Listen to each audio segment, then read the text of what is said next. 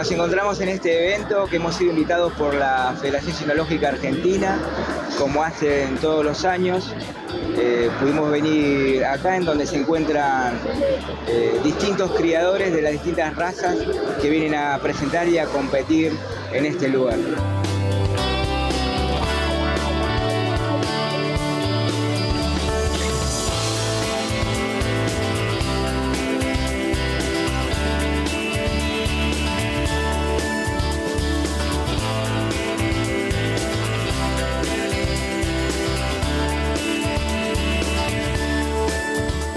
Muy contento por la exhibición que han hecho nuestros perritos, Peggy y Turca, que fueron los que realizaron los distintos ejercicios, que trabajaron a través de las distintas cajas en donde escondíamos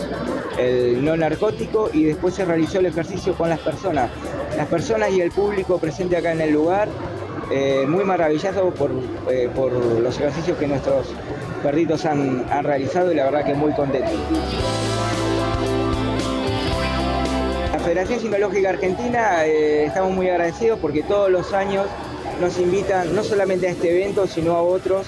que se realizan en la sociedad rural de Argentina y tenemos la posibilidad de mostrarle a la gente cuáles son las actividades